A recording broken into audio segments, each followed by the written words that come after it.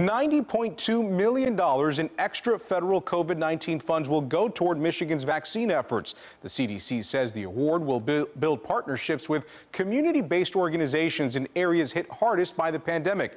Those include communities where commuting to vaccine sites are more difficult or where residents are hesitant about getting vaccinated.